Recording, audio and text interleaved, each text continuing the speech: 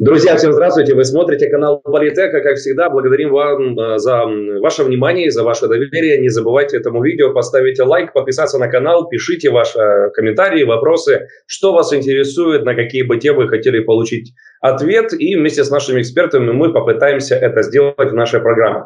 Сегодня с нами на связи Олег Иванович Стариков. Олег Иванович, мое приветствие, рад видеть. Здравствуйте. Здравствуйте.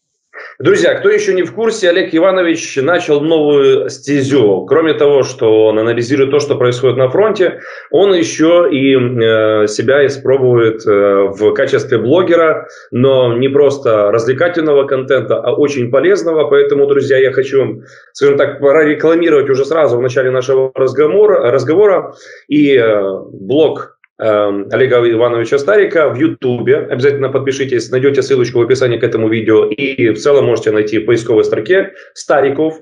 Э, ну и также есть две программы, два направления, которые также вам помогут лучше понимать, что происходит на, на фронте. Это стариковские среды. Да, Олег Иванович, правильно? Не стариковские. Да, да, да. Старик... Да, и есть новые направления, военное искусство, еще также очень э, подробно и детально Олег Иванович об этом говорит в своих программах. Друзья, обязательно вас приглашаем, и много полезного и ценного вы найдете на этих э, программах. Ну что же, Олег Иванович, мы начнем с вами с... Э, кто-то говорит такого долгожданного, кто-то говорит печального, грустного события. Э, замена Валерия Федоровича Залужного на Сырского. И много есть различных уже комментариев. Мы с вами кратко о них также детально поговорим. Но ваше, скажем так, первое впечатление, ваши эмоции, когда вы об этом узнали, э, как не только человека, скажем так, гражданского, но и того, который знает э, многие вещи изнутри. Ну, во-первых, я человек, я сторонник комплексного решения всех вопросов а, а конкретно стандартов, директивы, процедур, которые используют в цивилизованных странах при решении такого рода задач. Действительно, э, проходит время, и высшие военные руководители, их необходимо менять. Надо менять. Еще раз говорю, я сейчас не про фамилии, я про принцип. И второе, за два года человек устает. Надо менять, он просто теряет уже острый взгляда, сам физически устает, и только такое все перешел. Первый этап войны, второй этап войны, сейчас вот третий этап войны. Это необходимо делать. Поэтому надо, может, внедрить определенную новую кровь. Это необходимо сделать. Но я сторонник того, чтобы э, проходили при назначении на такие должности, должны быть соответствующие процедуры выписаны в законодательстве Украины. Я их называю стандарты НАТО. Ну, кому-то это не нравится. Ну, называйте их не стандарты НАТО. Называйте стандарты кадрового менеджмента, военного кадрового менеджера в цивилизованных государствах. Ну, так называйте. Ну, не может быть, то есть на да, такую должность должен подбир, э, обязан подбираться э, генерал, который имеет соответствующие критерии. Ну, во-первых, закончивший высшую, имеющий высшее военное образование, то есть закончив военную академию, оперативно-тактический, оперативно-стратегический факультет. Первое. Второе. Определенную выслугу лет, то есть военное училище и прошедший все ступени от командира взвода до командующего. Да. Занимающий должность оперативно, как минимум оперативно-стратегическую или стратегическую. То есть командующий сухопутных войск, если в нашем ситуации война, то у нас континентальная, Нельзя, не, не надо ж, если война континентальная, а тут решили назначить э, командующего военно-морских сил, да? На море войны нет, на море спецоперация, а тут туда. На, на, потому это совершенно разные вещи. Или э, э, следующее. Тот человек должен обладать авторитетом вооруженных сил. Но самое главное другое он должен, этот человек не только, он должен, подой, он, как он вы, должен вырасти и на следующей ступени. Есть такое понятие, все офицеры-карьеристы, все офицеры-карьеристы. Нечего поступать в военное училище, если ты думаешь, за 25 лет пройдешь славный боевой путь. От командира первого до командира третьего взвода. Это у нас, мы так смеялись. Да? Уволился в 20, через 25 лет, а он старший лейтенант и прослужил только командиром взвода. Все карьеристы. Но да, и, и подготовка офицера, почему 4 года учат? Потому что он становится командиром взвода. А раз он становится командиром взвода, ему дают право командовать 30, то есть командовать вот 30 людьми своими и, и, и вести их в бой. То есть он понимает, давая задачи, он понимает, что определенный процент солдат, которые он направил, они не вернутся, их убьют или ранят. Вы же понимаете, то есть это единственные люди, то есть военные, военные во всех странах мира, единственные люди, которые посылают солдат на смерть. Это же, понимаете, меня вот бесит, меня вот прямо разрывает. Менедж, вот мен, мы меняем военный менеджмент. Какой во, э, военный, мен, военный менеджер? Сначала назвал Подоляк, вчера президент сказал в своем выступлении. Какой менеджмент у военных? Военных нет менеджмента, у вас есть командир, Командир, другого нет. Сейчас, согласно, мы переходим до других уже, то есть есть кома, управляя, командует боем, управляет боем. Но это чуть-чуть разное, это все связано с ведением боевых действий. А то менеджер. То есть человек вырос, он и назначать командира взвода, командира бригады, сразу же на стратегическую должность нельзя. Теперь возвращаемся к... Когда был назначен генерал Сырский, я, я его критиковал. Это кадровое назначение. Почему? Потому что генерал, э, генерал Залужный, извиняюсь, генерал Залужный критиковал. Почему? Потому что он перепрыгнул, его назначение он перепрыгнул через 4 ступени. Он сразу с оперативного звена, минуя оперативно-стратегическое, сразу перешел на высшую стратегическую должность. Я это критиковал. Но, слава богу, слава богу, что он э, за время войны стал настоящим генералом и обрел авторитет и то подобное. Это хорошо. Теперь генерал Сырский. Он с оперативно стратегического направления, командующий вида войск, перепрыгнул зам генер... начальника генштаба, начальника генштаба и зам главкома. Три ступени. И вот я теперь задаю вопрос. Задаю теперь политический вопрос, очень важный. Вот это назначение, которое сейчас есть, будет ли такое же правильным, как вот было генерала Залужного. Еще раз говорю, я не говорю про фамилии, я говорю про принцип. И вот принцип, который э, произошел вчера, э, э, президент Зеленский сказал, мы обновляем всю военную верхушку. Да нет, это же не менеджмент, ну какой же, какую военную верхушку обновлять? Это же не колхоз, это ж не, э, как его там, зерновая корпорация, когда один приходит, всех разгоняет, набирает новый для того, чтобы там что-то начать, денежный поток. Это совершенно другая структура. Это каждый человек, он, он обучен, он военное училище, он командир развода, он прошел, он профессионал своего дела. Какое обновление менеджмента? По, как надо было сделать по уму, заканчиваю, по уму. Э, э, президент имеет право менять главком? Имеет. Имеет полностью. Значит, на его должность назначается первый зам главкома. Должность, та, такая должность есть, и конкретный генерал на этой должности есть. Следующее. При, имеет президент то же самое менять э, э, вопрос, связанный с начальником генштаба? Имеет. На эту на должность начальника генштаба назначается первый зам начальника генштаба. Но это бы означало, Олег Иванович, это все-таки из команды Залужного, они этого не хотели. Еще раз, не, в армии нет никаких команд Залужного. В армии есть, э, еще раз повторяю, армия – это плоть от плоти народа и государства. Не бывает, ар, не бывает вооруженных сил Украины, потому что, еще раз говорю, я говорю армия – это сухопутные войска, а я говорю вооруженные силы Украины. Не бывает э, вооруженных, вооруженных сил Украины лучше, чем государство, чем народ Украины. Какой народ Украины, такое государство. Какие граждане Украины, такие генералы. Других генералов нету. Ну нет генералов других. Других солдат нету. Следующий вопрос. В статутах Сбройных сил написано, что я вот пришел, меня назначили командиром, и я теперь всех меняю. А в статутах написано именно с теми, кто есть.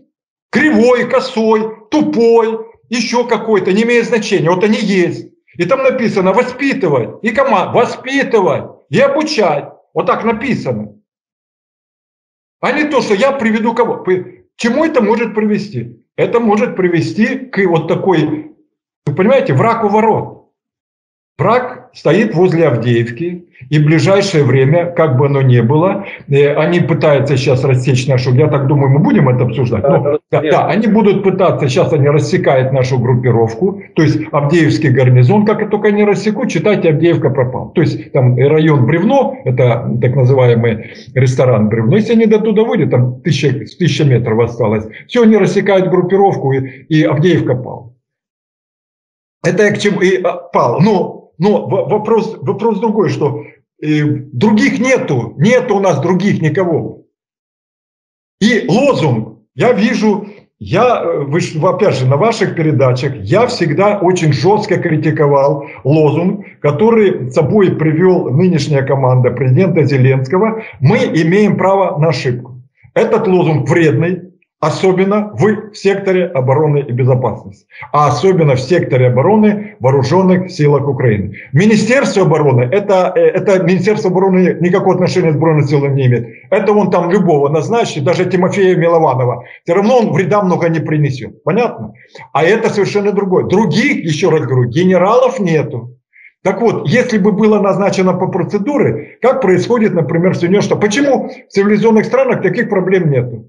Потому что процедуры, идет подбор, идет подбор по критериям, и все, вот я по этим критериям сказал. После этого эти подбор в, в, в их конгрессе и в Сенате, они ведь это все проходят, сенатские слушания. После того, как их назначают, то есть когда они подают три кандидату, кандидатуры президенту, и президент э, выбирает одного из них, так вот, те, кто дает подания на высшего, то есть на председателя Миллионного комитета начальников штабов, несет за это политическую ответственность.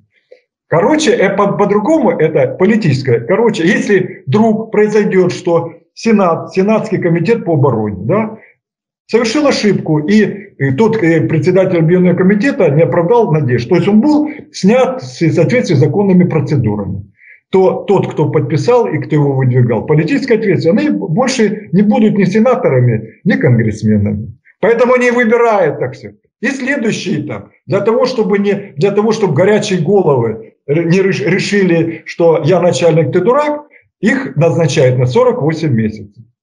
Не больше, не меньше. 48 месяцев.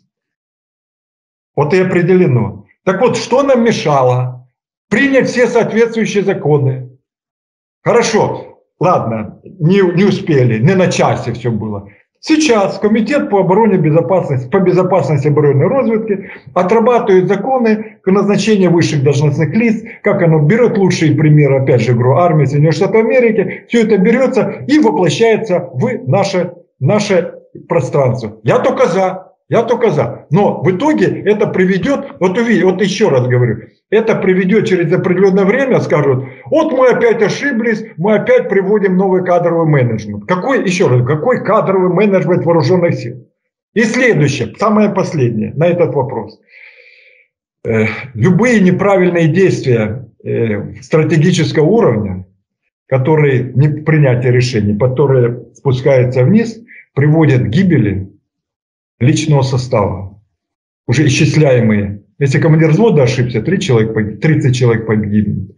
Роты 100 человек погибнет. А если высшее руководство, высшее генштаб или главком, это будет принято, погибнет. Сколько у нас сейчас в вооруженных силах? Вот погибнет. Уже будем считать десятками тысяч наших украинских граждан, которые сейчас несут службу в вооруженных силах Украины. Вот, кстати, Олег Иванович, по поводу этой угрозы. Что ожидает президент от, руководства, от нового руководства Вооруженных сил Украины? По заявлениям на столе должен появиться реалистичный подробный план действий на 2024 год с учетом реальной ситуации на поле боя сейчас и перспектив Такие вот задачи от Зеленского э, поставлены новому руководству. При этом есть мнение от издания The Economist, что увольнение Залужного – это новый этап войны. Но Зеленский мог ошибиться. Александр Сырский имеет репутацию человека, который готов вступить в бой с врагом, даже если это будет стоить больших человеческих и технических потерь. Сырский вызывает противоречивую реакцию среди офицеров, и издание задается вопросом, сможет ли Зеленский воспользоваться оставкой Залужного, чтобы переориентировать свое видение войны на победу. Вот это ключевая фраза, которую за экономист задает. Но Зеленский мог ошибиться.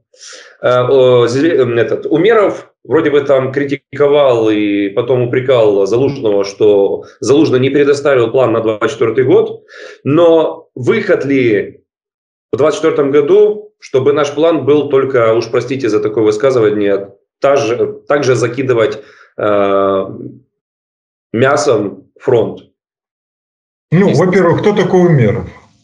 Кто это такой? Вообще, нет, я знаю. Ну, в секторе обороны. Кто он такой? И его команда. Они нанесли своими дебильными, неправильными решениями при, по принятию закона, э, перв, закона про мобилизацию ущерба в качестве непоступления налогов от 30 до 50 миллиардов гривен. И за это еще к них привлечь к ответственности надо. Каждый месяц Неталуха заявил, Неталуха, председатель экономического комитета, заявил, что мы потеряли 3,5 миллиона человек, мы их найти не можем. То есть они в Украине, есть они в Украине, но их нет, да, 3,5 миллиона. Так вот посчитайте, эти 3,5 миллиона выпали из э, официальной работы. Но они же где-то работают. Работают. Они выпали. А раз они работают, они получают где-то деньги в темную темную. А раз получают деньги в темную, значит, они не платят ЕСВ 22%, ПДФО 18%, 1,5% э, э, э, военный сбор. С учетом, я взял минимум, с учетом. Вы просто берите, считайте. Теперь с учетом 7, 700 минимальная заработная плата, хотя больше получает, нет 700. Так вот, возьмите эти пропорции и выйдет 9 миллиардов 950 миллионов гривен ежемесячный недобор налогов поступления. А у нас налоги идут куда? На обеспечение вооруженных сил. Еще Умеров это что-то там будет рассказывать. Это первое. Второе. Вы меня спро спросили первым вопросом, что-то изменится? Ничего не изменится. Почему? Потому что, э, не, оно может измениться, если противник вдруг решит полностью уйти в запой, значит, ничего не видеть, что происходит на фронте, значит, полностью закрыть глаза, закрыть свой, э, пол, э, ликвидировать свой военно-промышленный комплекс, перестать набирать добровольцев, 600-1000 человек ежедневно набирают, ну и тому подобное. Так, э, Кремль закрыт, все ушли бухать, да? Ну тогда такой шанс есть, это нормально. Я, я, я считаю, это все, все будет нормально. Но они же у них они набирают обороты. Не зря же выпустили сейчас интервью, интервью Путина с, с Такером Карлсоном. Да? Это же не просто такое интервью. Вот решил тот э, американский журналист приехать, и Путин его принял и в Кремле давал Вот просто так. Ну раз оно и произошло. Да? Ну, это, это, это, не знаю, будете у меня спрашивать, нет, пусть политологи об этом рассказывают, да? Но это, это, это знаковое интервью, это очень знаковое. Так вот, в итоге ничего не изменится, это первое. Почему? Потому что для того, чтобы воевать, необходимы соответствующие ресурсы. А ресурсы поставляет кто? Вооруженные силы ведут боевые действия, а ресурсы кто поставляет? И за, а отвечает за оборону страны Кабинет министров Украины, а конкретное персональное лицо министр обороны, фамилию которого мы уже упоминали в СУИ, да, вот совсем недавно. Он за это все отвечает. Какой ему план обороны? Ему нахера этот план обороны нужен? Вот ему он, как, зачем он нужен? У него задача другая. Он берет, берет э, э, э, заявку от генерального штаба, сколько необходимо всех, всех видов вооружений, номенклатуру. Ему генштаб дает, он берет эту заявку, едет туда, Вашингтон, вот едет, он, он начальник, большой начальник тыла. Он это все собирает, все, что мог, собрал, привез, отдал вооруженным силам. Так вот, если вооруженные силы будут все обеспечены этим, все будет хорошо. А я, насколько понимаю, там большие проблемы большие, я мягко, видите, как мягко говорю, там большие обеспечения вооруженных сил, которые сейчас показывают на линии боевого соприкосновения. Ну, в частности, например, 155 миллиметровых или 152 миллиметровых артиллерийских снарядов, ну и, и т.д. и т.п. Поэтому э, каждый, должен, э, каждый должен заниматься, то есть каждый баран должен носить свою шерсть а не рассказывать, что там что-то происходит. Меня особенно, знаете, умиляет, когда на первых этапах Умеров показывали карта военная, и Умеров смотрит в карту. Да? Вот, мне, вот это, знаете, меня умиляет. Я, я вообще так, такой думаю, вот он, карта, что он там увидит в этой карте, что он там поймет. Ну ладно, это, это тема, это назначение людей, которые, э, ну сейчас уже перестал уже возле карт фотографироваться, слава богу, это уже, наверное, кто-то подсказал. Пусть, а если будут, например, с мешком, э, э, пусть дровами займется. До сих пор Минобороны не выписала, выведела финансирование на дрова для на, э, наших солдат, которые находятся на линии боевого соприкосновения. Почему до сих пор волонтеры туда ездят и возят все необходимое, тыловое обеспечение, а не Минобороны обеспечение? Это же его задача. А он еще ему план обороны. Что там он поймет в этом плане обороны? Третье. Ну, как в свое время говорил Пригожин, только он говорил, обращался к Шойгу, а мы можем сказать к Умерову. Где боеприпасы? Ну вот, где, вот сейчас военные скажут, где боеприпасы? Вы же понимаете, это то же самое. Тоже один к одному. Мы все зеркалим. Один к одному, что у них был враг у ворот, берем страну противника, да, враг у ворот, они, значит, военный бунт устроили. Оба-на. У нас враг у ворот, проблема, проблема, почему? Просто с обеспечением, э, линия боевого соприкосновения, отдельные территории все-таки может придется отойти, отойти войскам придется. А мы тут поли, начали меряться политическими рейтингами, да? У кого, у кого какой рейтинг? Вот тут рейтинг. Достали рейтинги, положили на стол и теперь меряются, да? Мальчики в песочнице, меряются рейтинг. Может уже пора переходить от политики, становиться государственными деятелями. Так еще раз, еще раз повторяю, важный это не тезис, это аксиома, это закон, это закон войны. Это война, это больше политическая составляющая, чем военная. Если брать вот войну, вот война 100%, да, то э, введение боевых действий это процентов 25, а 75 это гражданская структура. Понятно, это гражданская. Так вот, не может быть армия лучше и сильнее, чем общество, которое, чья армия это является. Это самое основное. А все остальные волонтаристские решения, которые принимаются, вот давайте мы шаблями пойдем всех, всю русню перерубаем. Ну, у нас мы показывали, 23 год показал, что ждали, что Русня побежит. Она, блин, взяла и не побежала. Кстати, я на вашем канале говорил, а если она не побежит? Кстати, вам ведь говорю, а если не побежит, что делать будем? Где план Б? А плана Б нема. Ну, нема плана Б. От що що ж тебе робити? І, і після, от я ще відповідаю на вопрос. 24 год будет войной, войной дронов. А война дронов – это война оборонительная. Никаких наступательных действий в принципе быть не может. Потому что сам по себе президент Зеленский, он и тоже в декабре заявил, и сейчас заявляет, что мы встали в тупик. Фронт в тупике, он, он стоит, он тупик этот стоит. Позиционный тупик, он стоит, он не двигается. Сдвинуть его невозможно. Тем более противник накопил на каждой линии, там, если брать по 50-70 тысяч человек, э, 50-70 тысяч своих вооруженных сил полным боекомплектом, которые стоят на, на шести линиях, ну, на шести направлениях. И ждут, когда, когда начнет приходить тот прекрасный мобилизационный резерв 50 плюс, 50, сейчас 43 плюс, да, вооруженных сил, а будет 50 плюс ну, уже скоро 55 плюс, и когда вот дедушки начнут воевать, да, это прекрасный мобилизационный резерв будет приходить. Это я к тому, что к чему это может привести. Олег Иванович, я кратко, я все-таки вернусь. Мы начали разговор по поводу Сырского. Эм, говорят о том, что его называют украинские солдаты мясником, и что он ну, скажем так, не считает жизни солдат, по сравнению с Залужным он имеет гораздо меньшую поддержку.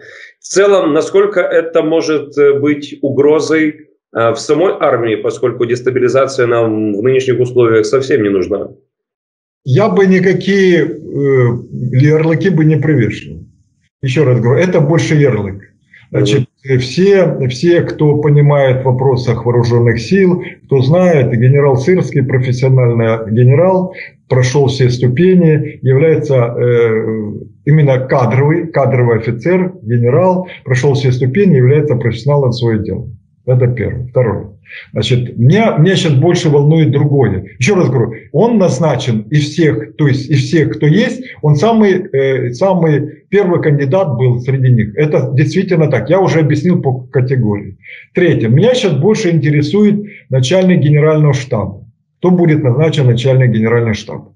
Если начальником генерального штаба, если сейчас генерал Шаптова подаст в отставку, он уйдет, должен быть первый зам начальника генерального штаба.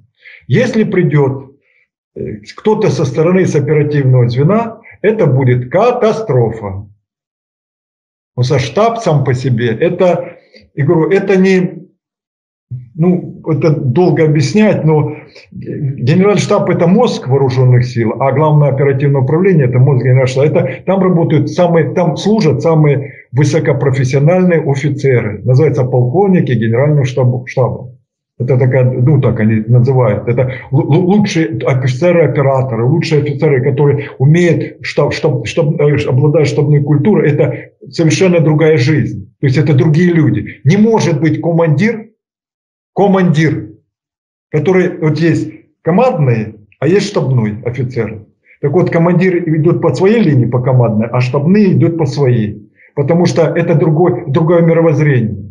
Это называется, знаете, вот он сел и целый день карты рисует, циферки, считает, аналитический склад. Командир это вскал, вскочил, пошел, личный состав, там прошел. Ну, командир это вперед такой, лидер. А начальник штаба это тот, который все считает, все, все командира сдерживает, дает предложение командиру. Это первый зам командира, он дает предложение, чтобы все рассчитывает. Помните, я когда рассказывал про когда готовили, утверждали на ставке э, летнюю военно, план летней военной кампании, оперативный план летней военной кампании 23 года, к вот этим картам пояснительная записка, Толса, помните, я рассказывал, да, который никто не читал. Кстати, почему-то обвинили генерала Залужного, что он виноват, якобы виноват, э, что летняя военная кампания прошла неудачно. Подождите, план этот утверждался на ставке, члены ставки несут персональную ответственность за этот план и голосуется коллегиально. Так вот, если бы было сказать, да, мы виноваты в том, что мы утвердили такой план, мы несем ответственность. Политики политическую, военную военную. Я только за. Так если они за это проголосовали, так они все тогда, тогда, тогда откроем, давайте откроем стенограмму. Но у нас все секретное, все равно потом она откроется, будет расшифровано. И посмотрим, кто как голосовал, кто говорил, это отличный план. И мы посмотрим дальше.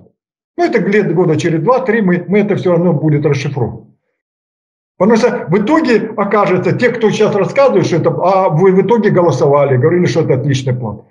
Каждый несет персональную ответственность за то, что происходит. Так вот, если. Э, э, вы в вооруженных силах и вообще-то в любом подразделении самый, один из самых главных лиц, ну, он не второй и не первый, то есть это э, начальник штаба. Это тот, который считает, это тот, который является мозгом, мозг, мозг подразделения. Так вот, если будет принято волонтеристское решение, я считаю, это приведет к катастрофе. Я об этом и говорю, катастрофе. Если будет принято взвешенное решение, начальником генерального штаба будет назначен тот и потом вот по той ступени, что говорил, это ничего не приведет, в принципе, и дальше будет вооруженные силы работать. Еще не в 2024 году, в этом году это война дронов. Никаких наступлений, никаких не предвидится. Российская Федерация только и ждет, чтобы мы пошли в наступление. Только этого и ждут. Я же, помните, рассказываю про линии, что они сосредоточили личный состав. Но если тупо идти в, в лоб, ну, естественно, получим, получим то, что может привести к катастрофе.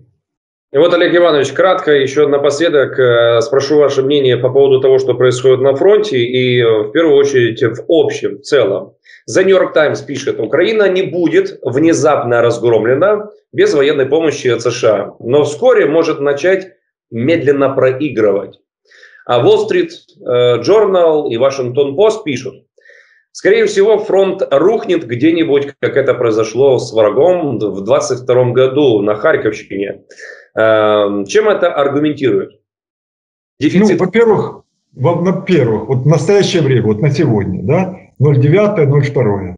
Позиционный фронт крепок, он стоит, и фронт это живой организм. Он двигает, может 100 метров, 200 метров, километры туда-суда, это не имеет никакого значения. Он крепок. Никаких предпосылок, что он рухнет, нет. Это первое. Второе. Э, э, что делает противник? Противник сейчас накапливает ресурсы, о чем я уже говорил, на каждом, каждом стратегическом, на, оператив, на каждом оперативном направлении. Для чего? Для того, чтобы изыскивать проводит сейчас так называемую разведку боем, атаки разведку боем, они небольшими группами. Для чего? Для того, чтобы изыскивать наши слабые места. Что такое слабые места? Слабые места, слабое место – это то, которое оборонять намного Э, сложнее, чем его оставить. Ну, другими словами, Бахмут. была больше политическая составляющая, чем военная. Его надо было просто оставить, мы бы мы это слабое место бы ушли. Да?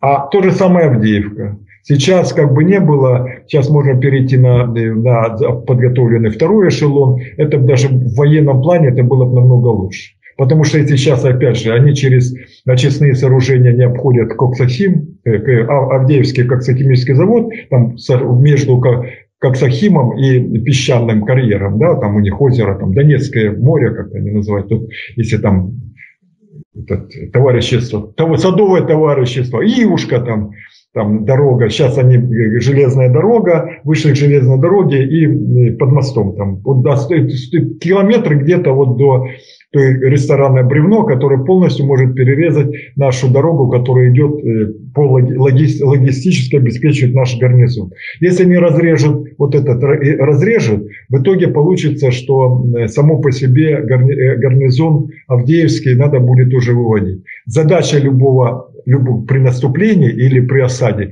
делать, вот есть подразделение, вот стоит оно, его надо разрезать на две части, потом на четыре, потом легко уничтожать. Понятно, о чем я говорю? Так вот они сейчас на две части режут. Потому что Адеевский коксохим – это то же самое Азовсталь. Та же самые укрепрайоны, э, э, пробиться там невозможно. Они просто сейчас его окружат, а раз окружат, значит уже все, по окружению потом будет та же самая ситуация, как с Азовсталем.